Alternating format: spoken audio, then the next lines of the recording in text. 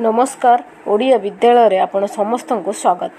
ଚବିଶ ଘଣ୍ଟା ଭିତରେ ମାଡ଼ ହେବ ସୌରଝଡ଼ ପ୍ରଭାବିତ ହେବ ବହୁତ କିଛି ଯାହା ଏକ ଶକ୍ତିଶାଳୀ ସୌରଝଡ଼ ସୌରଝଡ଼ ଦ୍ରୁତ ବେଗରେ ପୃଥିବୀ ଆଡ଼କୁ ମାଡ଼ି ଆସୁଛି। ଏହା ଆଗାମୀ ଚବିଶ ଘଣ୍ଟା ମଧ୍ୟରେ ଯେକୌଣସି ସମୟରେ ପୃଥିବୀକୁ ମାଡ଼ କରିବା ଆକଳନ କରାଯାଉଛି। ସବୁଠାରୁ ଯେଉଁଟା ବଡ଼ କଥା ରହିଛି ଯେତେବେଳେ ଏହା ପୃଥିବୀ ଉପରେ ମାଡ଼ ହେବ କ'ଣ ଘଟିବ କ'ଣ ମାନେ କ୍ଷତି ଘଟାଇବ?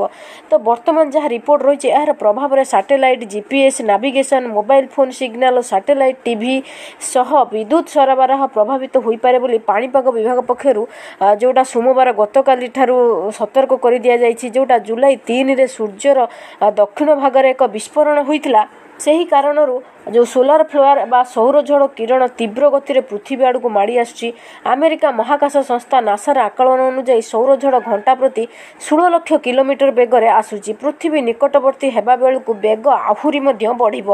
ଏହା ପୃଥିବୀର ଯୋଡ଼ା ଚୁମ୍ବକୀୟ କ୍ଷେତ୍ର ମଧ୍ୟରେ ପ୍ରବେଶ କରିବା ପରେ ସାଟେଲାଇଟ୍ ସିଗ୍ନାଲ ପ୍ରଭାବିତ ହେବ।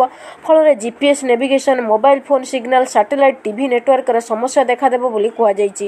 ପୃଥିବୀର ମାଗ୍ନେଟୋ ମାଗ୍ନେଟୋସ୍ଫିୟର୍ସର ଯେଉଁ ଭୂଚୁମ୍ବକୀୟ ଝଡ଼ ସୃଷ୍ଟି କରିପାରେ ବୋଲି ବିଶେଷଜ୍ଞମାନେ ଆଶଙ୍କା କରୁଛନ୍ତି ତାହା ସହିତ ସୌରଝଡ଼ ଯୋଗୁଁ ପୃଥିବୀର ବାହ୍ୟମଣ୍ଡଳରେ ଗରମ ହୋଇପାରେ। ଏହାର ପ୍ରଭାବ ମହାକାଶକୁ ପଠାଇବ ଥିବା ସାଟେଲାଇଟ୍ ଉପରେ ମଧ୍ୟ ପଡ଼ିବ। ଫଳରେ ଜିପିଏସ୍ ସହାୟତାରେ ଚାଲୁଥିବା ବିମାନ ଜାହାଜ ମୋବାଇଲ ଫୋନ୍ ସେବା ବାଧା ବାଧାପ୍ରାପ୍ତ ହେବ ବୋଲି ସ୍ପେସ୍ ୱେଦର ଡଟ୍ କମ୍ ପକ୍ଷରୁ କୁହାଯାଇଛି। ନିଶ୍ଚିତ ଭାବରେ ଆମେ କହିପାରିବା ଯେଉଁ ସୌରଝଡ଼ ବର୍ତ୍ତମାନ ପୃଥିବୀ ଉପରେ ମାଡ଼ ହେବ ତାର ପ୍ରଭାବରେ ଏହିସବୁ କ୍ଷତି ହିଁ ଘଟାଇବାର ଅଛି। ତ ଯେତେବେଳେ ଚବିଶ ଘଣ୍ଟା ସମୟ ଦିଆଯାଇଛି ତ ଆପଣମାନେ ନିଶ୍ଚିତ ଭାବରେ ସତର୍କ ରୁହନ୍ତୁ। ଆଶା କରୁଛି ଭିଡ଼ିଓଟି ଆପଣମାନଙ୍କୁ କିଛି ଶିଖିବାକୁ ମିଳିଥିବ। ଯଦି ମିଳିଥିବ ନିଶ୍ଚିତ ଭାବରେ ଆପଣମାନେ ସେୟାର କରନ୍ତୁ। ତା ସହିତ ଓଡ଼ିଆ ବିଦ୍ୟାଳୟ ଚ୍ୟାନେଲକୁ ସବସ୍କ୍ରାଇବ୍ କରିବାକୁ ଜମା ବି ଭୁଲନ୍ତୁ ନାହିଁ। ରହୁଛି ନମସ୍କାର।